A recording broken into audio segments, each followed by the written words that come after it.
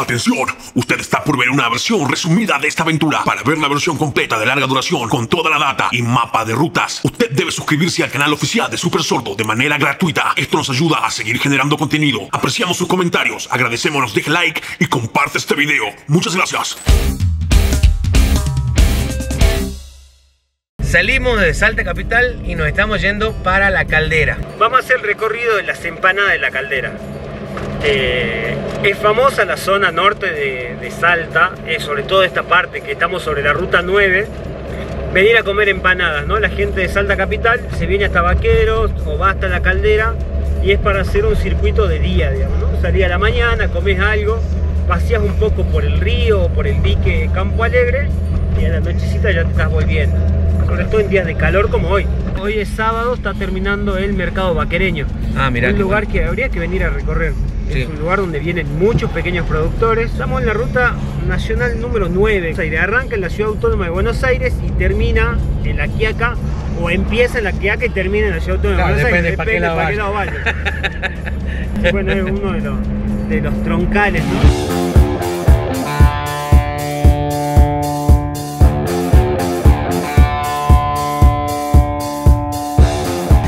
¿Dónde estamos ahora, che?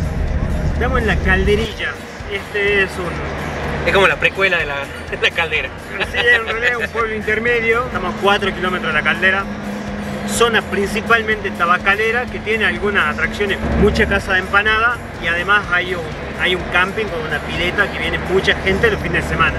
Es más que nada de paso, digamos. Es un lugar de paso, exactamente, y un lugar que se está poblando, ¿no? Mucha gente eh, se está viniendo a vivir acá y hay este, mucho loteo nuevo.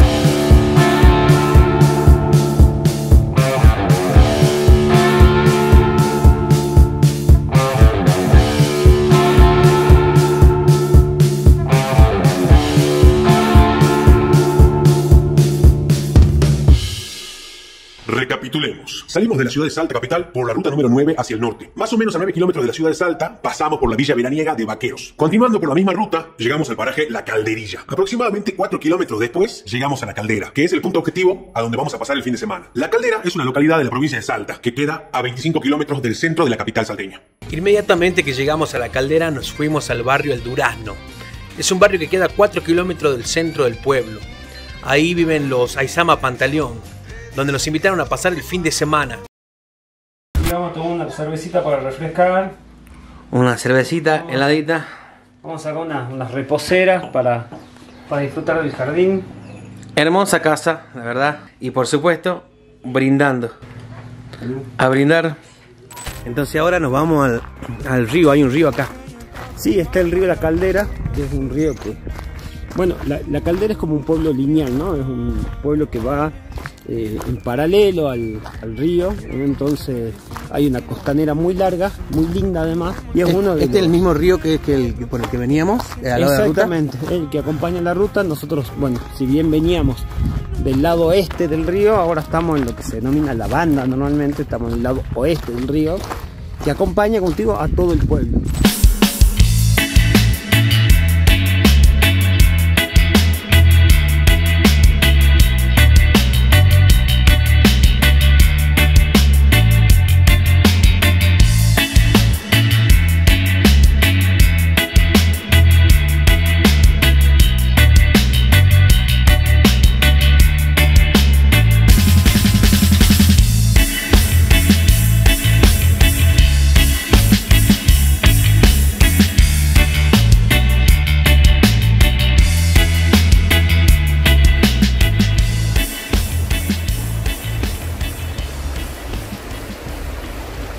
Ya llegamos al río, se escucha el ruido del agua. Un lugar hermoso, Sí, eh, fresco, muchísimo, muchísimo cambio de temperatura. sí, hermoso, hermoso. Estaba cagado de calor allá. 3 grados menos que la ciudad, meter las patas en el agua. Igual el agua está súper cristalina, cristalina. Ah.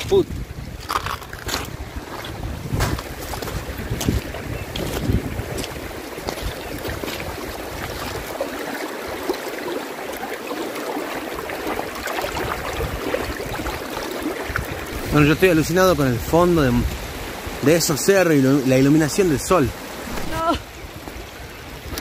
Y bueno, sí, tenía que pasar, te tenías que clavar ahí. Quedaste atrapada. ¿Qué tal esas patas en la arena? Felices, mira. ¿Felices?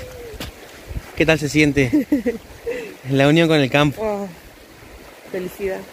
Qué lindo que salir de la ciudad, ¿no? Estamos en el río, estamos llenos de piedra, el sol, hermoso, pero siempre de camisa.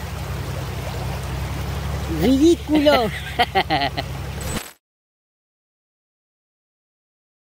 Bueno, estamos en la plaza principal de la caldera, ahí atrás, como ven. Vamos a dar un paseo y eh, estamos también justo al frente de la, de la iglesia de, de la, caldera. Tiene la particularidad que como muchas iglesias de, de la provincia y de América, fue construida por los jesuitas, ¿no? En 1590, 1591. Eh, esto era una hacienda, era una hacienda que donada por la, bueno, fue un, otorgamiento por parte de la colonia española. Acá había mulares, caballares, que eran parte del camino que iba del Alto Perú a Buenos Aires. Bueno, acá se, se, se- se reabastecían, ¿no? Para seguir el camino.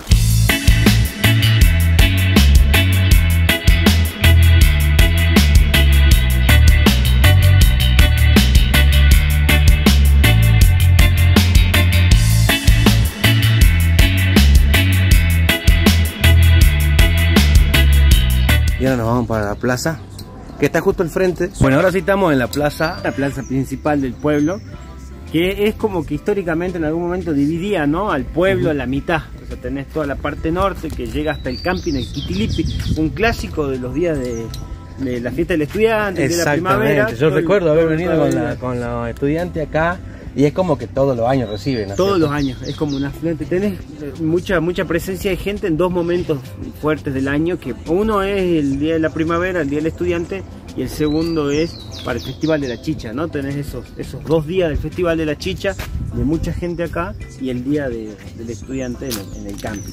Todo eso transcurre en la zona norte del en el camping Ajá. de Kitilipi, en el complejo municipal. Y después tenés acá en el centro del pueblo, en el centro también geográfico del pueblo, la plaza, eh, donde te decía, mira, o sea, tenés un camino de, de un- unas galerías de, de artesanos que por la tarde se van a poner a vender cositas ricas, sobre todo gastronómico, ¿no? O sea, hay muchos panes, mermeladas, quesos. Tenemos también sus típicos borrachos que andan cantando por ahí. Sí, que no Amanecieron. Sí, sí, amanecieron por acá. Los encontró a la mañana, diríamos, en la caldera y van tan, esperando el colectivo para volverse. Hemos llegado al Cristo, Exactamente, al- el, el rockstar de, de la Sí, caldera. sí, es, este, es un observatorio, tiene un lugar consagrado para, para dar misas, para que bueno se, se lleven adelante todas las actividades religiosas para las que está previsto el lugar. Es un lugar donde la gente viene, ¿no?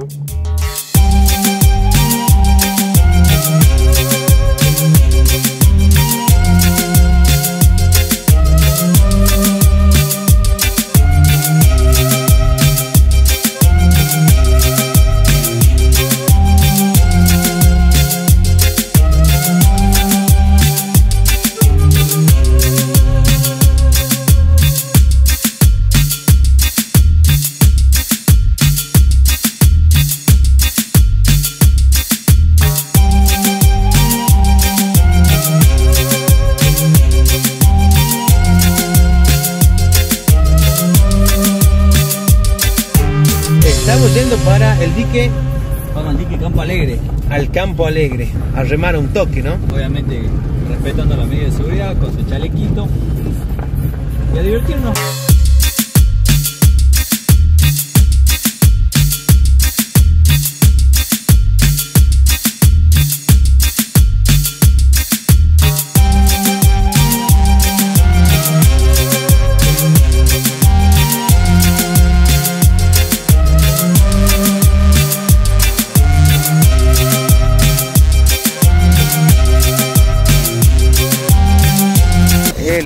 Viene con zapato. Dique Campo Alegre. Atrás ya podrán ver que Martín Aizama está remando el original gaucho acuático.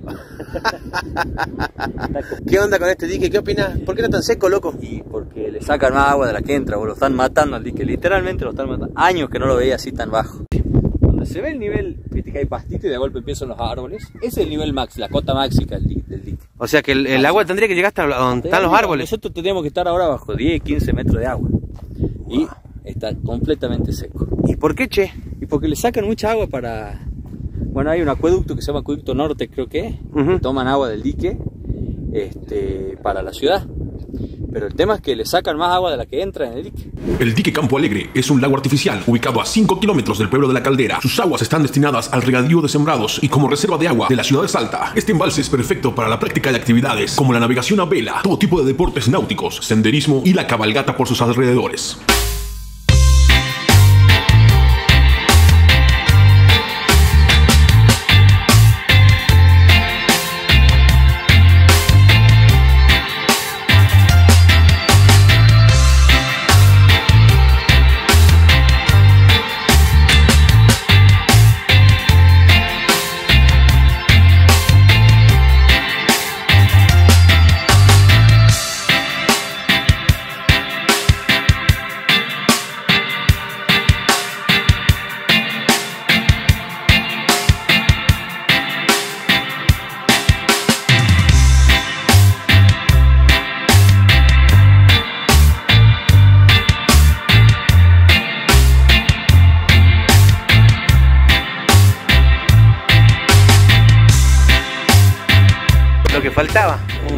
Vaso de Fernet.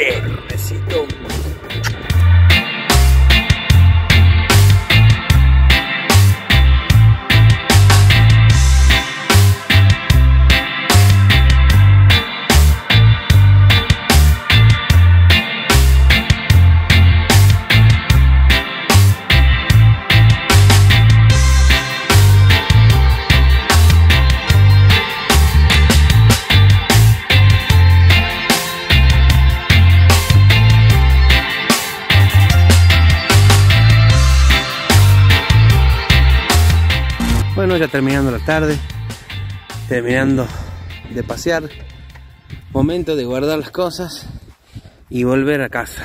¡Chara!